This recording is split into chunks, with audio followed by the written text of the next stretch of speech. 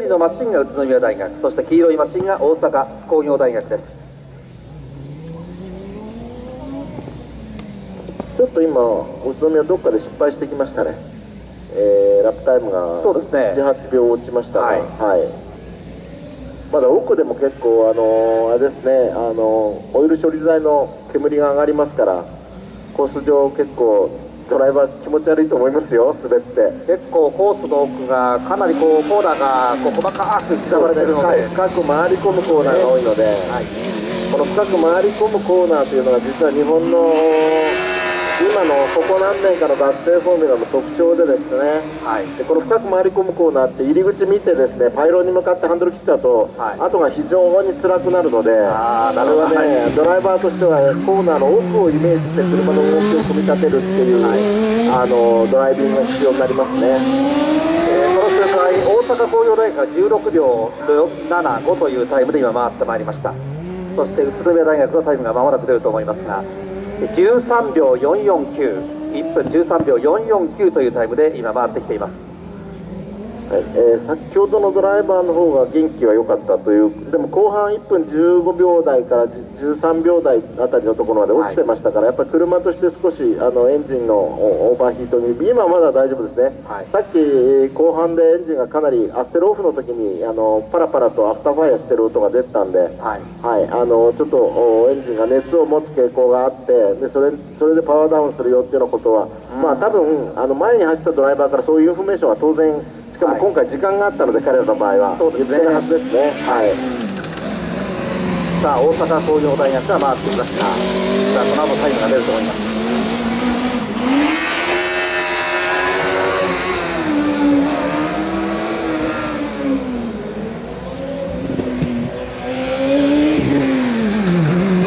17秒1の国というのが大阪工業大学この周回です。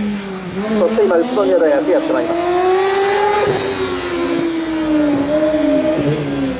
結構気持ち入ってますね。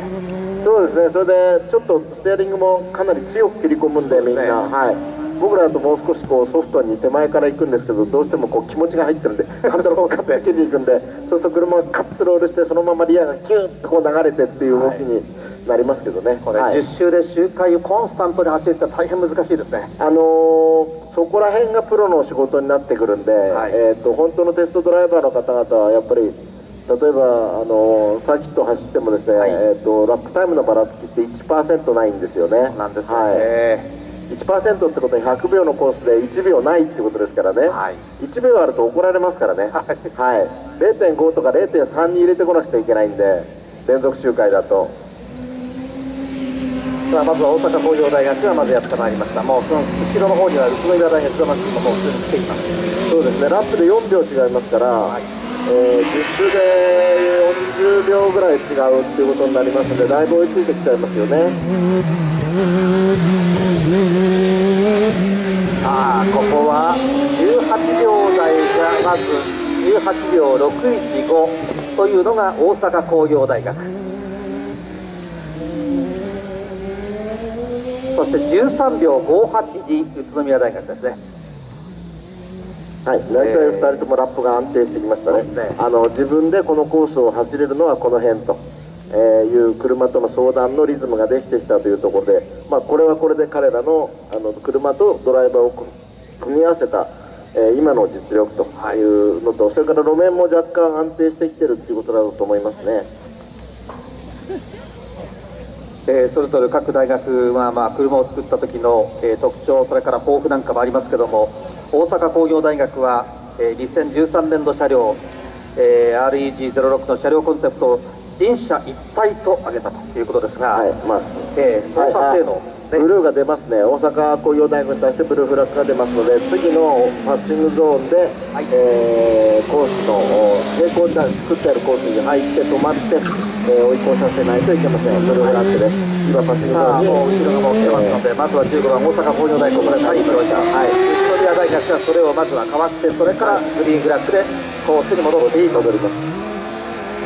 そうですね1周で大体45秒の差がつきますからねそうですね、1周で5ぐらいありましたから、1分10秒で走ってる、1分12秒で走ってるってことは、10周で700秒、その中の50秒6ぐらい違ってくると、みるみる追いついてきちゃいますよね、はいえー、12秒698というのが宇都宮大学のタイムです。なかなか10秒9って難しいですね。はい。えー、でも今のあのパッシングもありましたけど、自分自身の、彼自身のベストに近いタイムで今,、はい、今回ってきてますから、698だとベストですね。はい。もう少しですからね、もう少しですね、はい、宇都宮大学2人目のドライバーですから、はい、これ、周回数少なくなればなるほど、気持ちの入り方が全然違ってくる。いやもう、あのね、逆、あチェッカー出ますね、あチェッカーチームがもうドキドキして待ってますよ、はい、はい、さあ、今、チェッカーが用意されます、さあ、宇都宮大学チェッカーです。カーナンバー16宇都宮大学フィニッシュしました。はい、えー、今年最初のエンデュアランスフィニッシュですね。はいおめでとうございます。11秒が出ましたね。11秒388、はい、先ほどの先ほどの宇都宮の最終ラップですね。最終ラップは11秒388と11秒台出しました。やはりこの辺やっぱり最終週と。も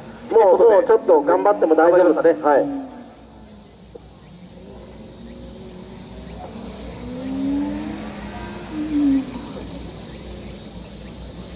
ちょっともう車に負荷かけてもねこの1周走りきれば OK なんで行こうそうですね、はい、もう僕ももうちょっとタイムが出せるとこ見せたい。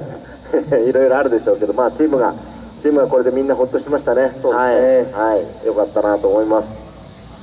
もうここを目標に車作ってきたわけですからね。そうですよね、はい、気持ちって大切ですねやっぱりね。そうですね、はい、あの気持ちイコール本来は集中力にならなくちゃいけないんで、はい、はい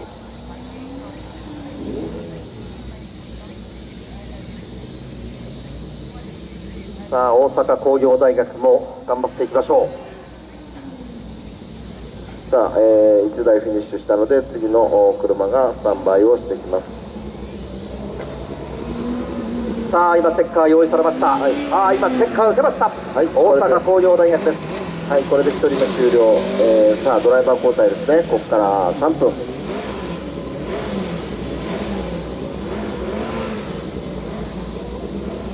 えー、ドライバー交代から3分以内にスタートしなきゃいけない、えー、あのカーナンバー20工学院大学スタートしました。さあ工学院大学がスタートです。はいちょっとで出だしでちょっと失速気味でしたけど。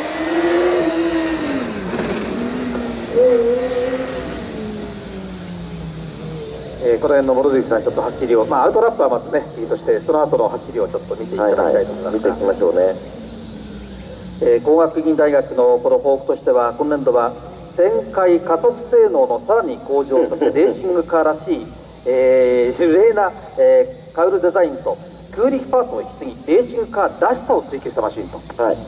結構あの今年レーシングカーらしいマシン多いですね。あの、ね、いわゆるエアロがね、はい、あのちょっと流行してます。はい、はい、流行してるということとエアロがついてて効いてるということは別の話です。はい、はい、えーさあ今コース上は一体工学院大学が戦友ですね。はい。あのえー、大阪工業大が帰ってくるまではちょっと戦友ですね。戦友ですねそうですね。はい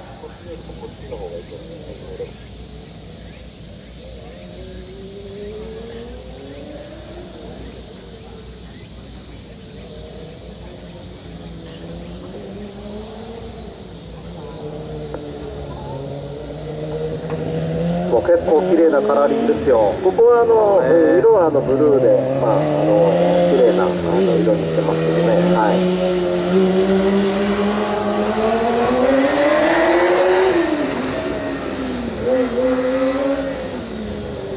まだタイムは出てないですね、はい、えー、ここから来ますね。はい、今。来ますね、えー、まずは24秒459からのまずはスタートということになります。24秒459というタイムです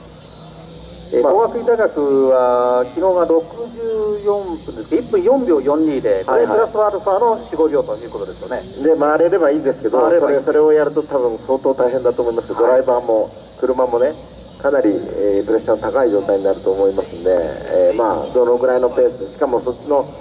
ドライバーによるラップタイムのばらつきもありますからね、あのー、速いドライバー、遅いドライバー、2人のドライバーを速いところで揃えてこれてるチーム多分23チームしかないと思いますよ、はい、えー今のところ宇都宮大学の11秒388これをちょっと基準にして。い今今とりあえずベンチマークですね。ははい。い、だからまあ僕多分1分1分5早いところは多分はい。1分23秒で来ると思いますけどね。はい。はい。まあ上ペースラップとしてはでで1分 5, あの5秒で回るぐらいのところがやっぱり上位校の実力であろうというふうには思いますけども、この工学院の、えーエアロって言ってるのはあの後ろについてるとかボトムですね、はい。床板から後ろを跳ね上げてやる俗に言うディフューザーというやつですけども、えーこれもですね、えーまあ明日にかけて随分言うと思いますがはい。えーえー20秒873というタイムを上げてきました、さあここからどのくらいタイムを詰めてくるかですがあのディフューザーってね皆さんあの今のレーシングカー見てこう、まあ、今日も実はスーパーフォーミュラがあの本部前に展示してあってお昼に、えー解体、えー午後に組み立てをやっていただきますが、えー細かく見てくれると自分たちの車作りのヒントになるところつまりどこがどんな格好してるかとかじゃなくてですね物の作りの面白さえーああそこはこんな構造になってるんだとかそういうところを見てほしいんですが、えーそその今のレーシングカー見てるとですねディフューザーっていうのはこう後ろに向かって斜めに sweep up って言いますか跳ね上げていけばいいんだと思うかもしれません、えー実はあれは規則で決まってるんでああいう形になってるだけであのディフューザーの形この工学院もそうですがこの後ろに向かってどんどん高くなっていってむしろその上に沿っている形のディフューザーが、えーダウンフォースを出すのに最適の形だとは限らないです、えーこれも昔の車を見るとですね、えー全然違うディフューザーがあってそれが、えー禁止された規則で車の形をこうしなさいと言われたことで今の車の形になってると、えーいうことをねもう少し勉強した方がいいです、ディフューザーってなんでダウンフォースが出るんだっていうところまで戻って考えるべきです。はい、はい。17秒466、えーこの周回で3秒ぐらい縮めました。はい。17秒466です。はい。えードライバーとしてもちょっとリスクが犯せない状態で、まあ、あのとにかくコース上に車をこう留めておくという運転を今してますんで、はい。あのでもねこのコースを あの車あのサイズの車のあの目線で走るのってものすごく難しいんで、はい。昨日も僕らの仲間のいわゆるその評価する車のことをこう読み取っていくプロがね来てて、えーまあ審査員の中にいるわけですけど夜飯食いながら話してて走りたいと思うあそこって。嫌だ。2人でね、はい。絶対嫌だあそこ走るの。って言って。それを走るから僕はあの皆さんのことをとても尊敬してるんですよ。このパイロンの間をこの低いそうですしかもパイロンが低いでしょ、はい。だからパイロンを見て走ろうとするとすごい大変なんですよこれ。そうですね。はい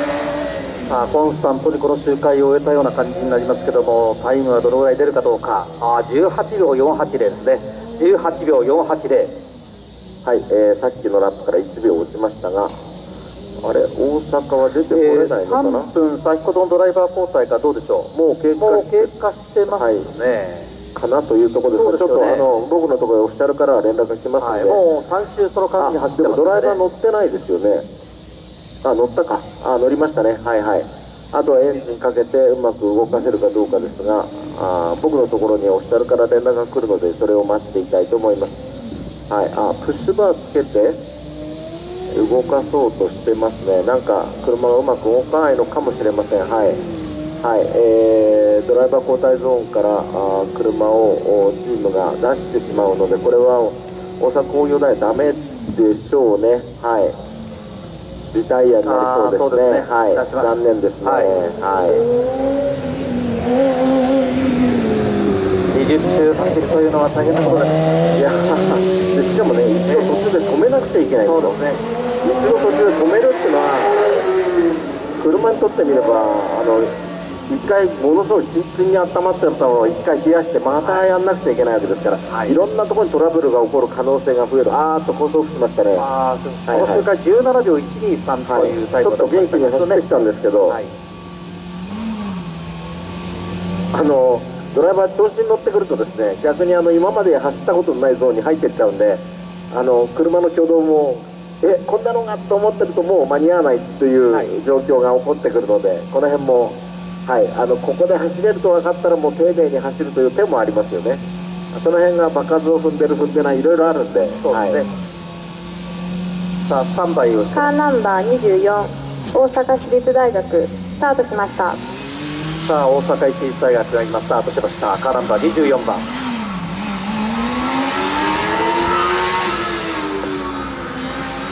大阪市立大学は昨日が、えー1分4秒446 1分4秒446というタイムです。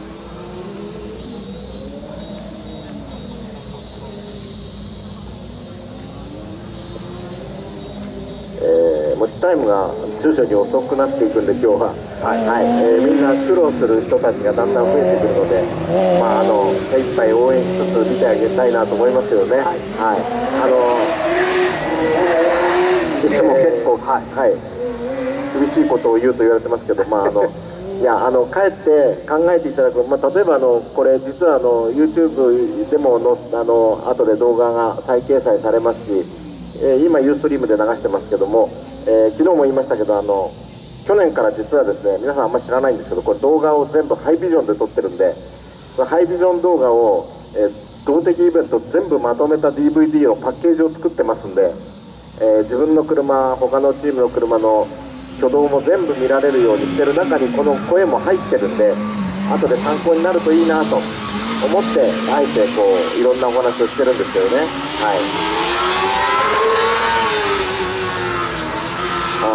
ーあのねこの大阪市立の車はねさっきから話してる、えー、と車輪を保持するジオメトリー合成がねものすごく足りない。だからね舵を切った時に見てると分かりますけど、例えば舵を切って車が曲がり始めた瞬間に外側の前輪が外に倒れてます。ということは地面についてる接地面がぐっと中に押し込まれるんでそれによって、えー、とタイヤが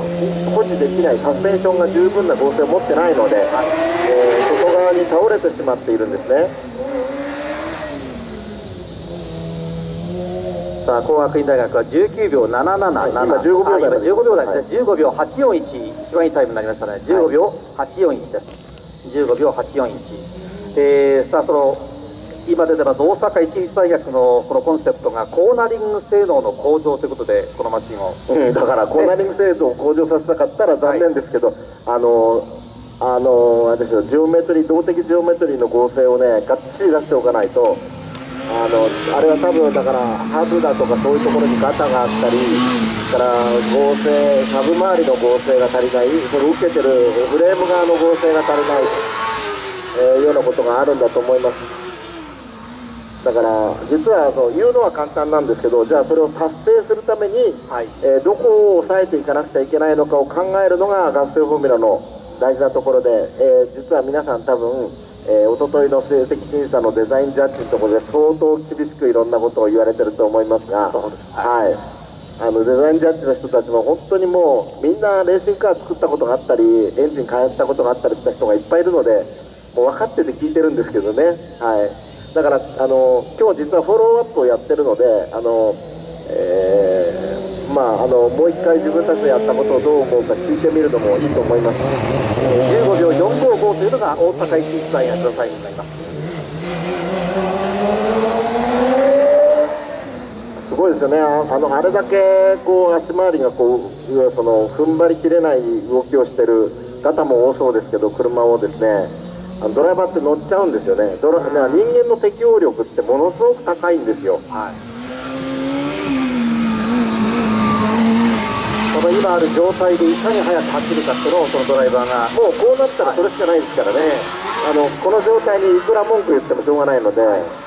ちょっとね、えー、と先ほどのラップ、そうあそこそこあそこであのあれですね、あの工学院の車は1回ミスをしてるんで、はい、ねタイムが落ちてまはい。すが。、今、大阪市立大学16秒579と、まあ、先ほどより1秒ぐらい遅いですけど、大体大体このぐらいのタイムで回りそうまですね、はい。まあ、ばらつきもうちょっと抑えて走れればっていうところですが、あのエンジンの反応も必ずしも一定じゃないし、はい。なかなか、あそれはあのあれですね。あのプロが作ったあの精度の極めて高い車と同じことをしろというのもなかなか難しい話です。そうです。はい。はい。皆さんが作った車でこれだけきっちり走れれば、はい。だからこのエンデュランスがやっぱり一番負荷が高いんでね。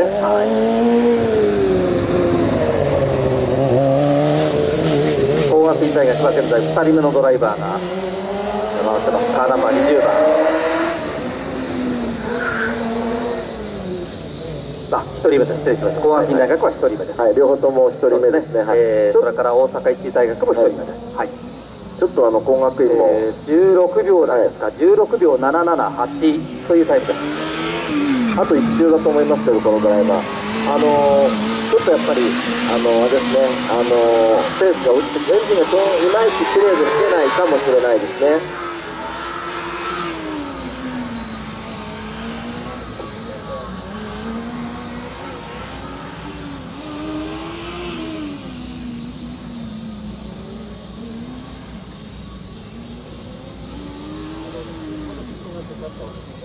えー現在コース上では、えーカーナンバー20番の工学院大学24番の大阪市立大学、えーこの2校が現在はコース上です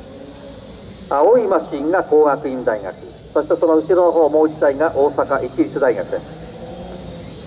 さあ、工学院はこれでドライバー交代ですね。さあ今チェッカーを受けましたまずはでもこのドライバーは、よし、俺のパート終わったと。はい、あとは任せるぞというところですけどね。はい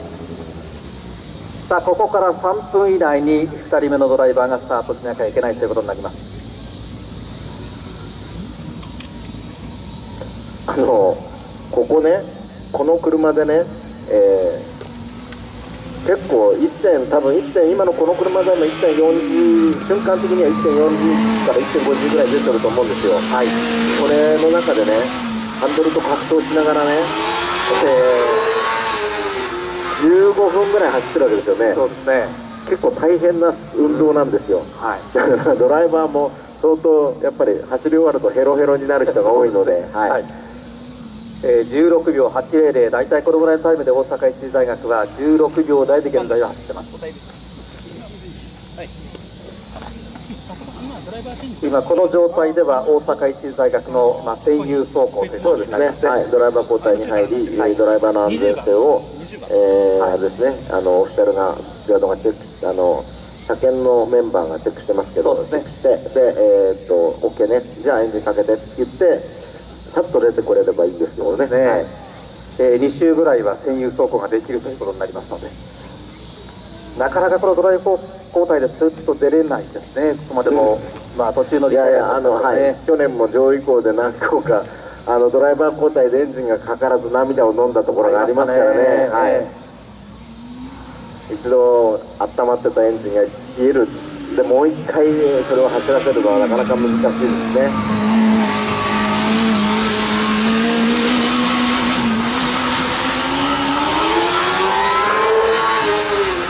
阪一律大学、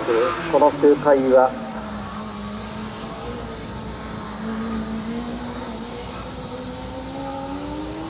えー、17秒022ですね、17秒022。うんまあまあまあ、あの安定したラップになってます、あの車がこのぐらいだったら自分の思う通りに動いてくれるというね、はい。あの走り方になってますよね、もう気持ちが、さっきまで気持ちが入ってたのがね、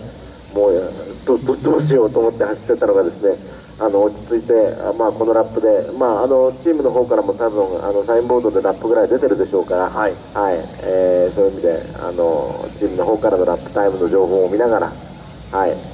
ーさっきは、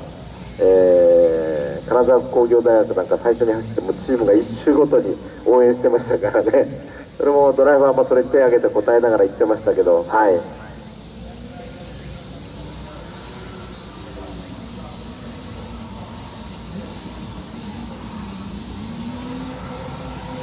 なんかもうほとんどスラロームの状況ですもんね、あそこはもうスラロームで、後のところはまあジムカーナとしても相当タイトなジムカーナですよね。ねただ、逆に言うと僕らやっぱあのスラロームとかでのその車のあの解凍性とかをね、やっぱり相当見てるんで、あのほんでスラロームって実は解凍性だけじゃなくて、実はエンジンのレスポンスが非常に重要なんですね。はい。エンジンの可動特性が非常に重要。でどんなコーナーも一度ボトムスピードになったところからエエンジンアクセルオフから少し踏んで正常円を書いていわゆるスキッドパッドの一部を作ってそこから開けていくんで、はいエンジンは過渡特性が重要ですよと、まあ、さっきからずっと言ってますが、えーそういうのがね気になってしょうがないですねこうやって見てるとね。なるほどはい。あードライバー運転しにくいだろうなとかね、えうん、あのドライバーはああいう時はあのエンジン担当にもういっぱい文句言っていいんだよと思いながら見てますけども、はい。まあ、エンジン担当がドライバーやってる人もいるんで、はい。はい、そういう意味で言うとあの本人が一番痛い思いをしてるわけですけど。そうですね。はい。はいさあドライバー乗り換えて出られるかという話になってますけど、ね。なかなか出てこられませんね。この3分以内ってなかなか厳しいですよね。厳しいですよ、乗り換えに1分以上かかりますからね、はい。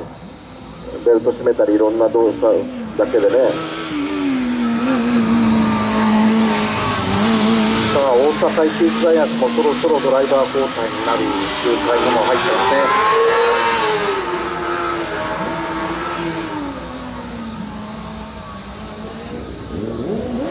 あエンジンかかりましたね。はい。あやっかかりましたね。とやっとかかりました。大阪工業大ですけども。はい。いやこれもうかかるとかかんないではね、あのペナルティーもらおうかもらもらう側がもらうがですね完走するかどうかあごめんなさい工学院ですね。工学院です。はい、はい。なので工学院あのあの本当に天と地ですからねこれね。そうですね。カーナンバー20工学院大学スタートしました。はい出てこれましたね工学院、え。ーはい。えー、2人目のドライバーです。工学院大学。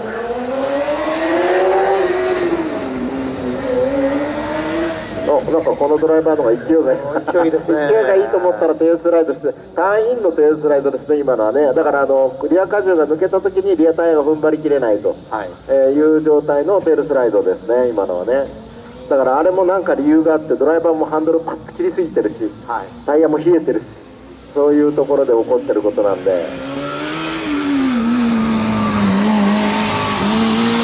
さあコースをまずは大阪市立大学青いマシンが工学院大学です。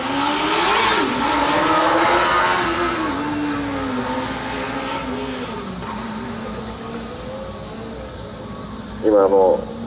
さあ16秒551というタイムですね。はい。大阪市立は今あのシフトアップの瞬間にあれ多分2から3だと思いますけど、はい。ちょっと一瞬あのギアがうまく入んなくてエンジンがふわっと老けてしまったので、はい。ああいうことの積み重ねがだんだんダメージになっていくんですけどね。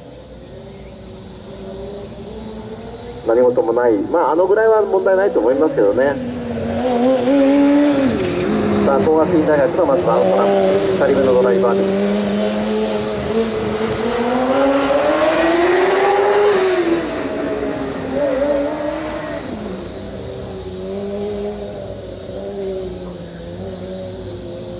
アウトラップ15秒296はい、えーこのドライバーちょっと早く入りましたね。ね。はい。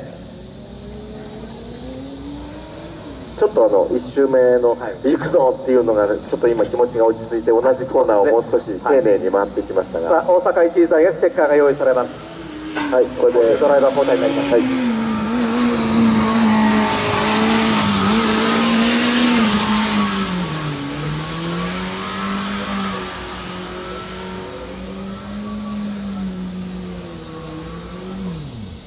阪市立大学がドライバー交代になります。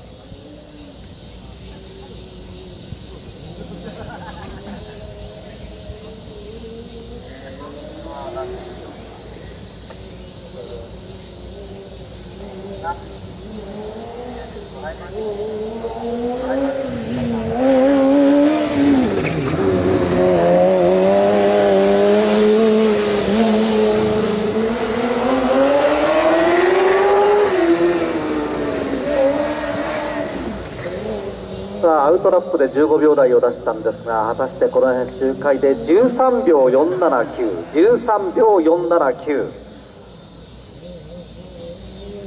工学院大学13秒479 2人目のドライバーです。はい、えー、ですね、そうですね、10秒台ぐらいまでは出るポテンシャルは多分あると思うので、はい。えーこちらのドライバーの方が若干早いのかなと思います。ね、今、運転見てても、あの車がまあ一応あの手の内になんとか入ってる、運転になってきましたから。ちなみにあのあのドライバー交代3分はあの車検系のですね車の安全性車側の問題点チェックの時間を含まずなんで。あなるほど。はい、えー、実質ドライバー3分ではないね。実際質ドライバー交代とそのに対応する時間それに3分ということですね、今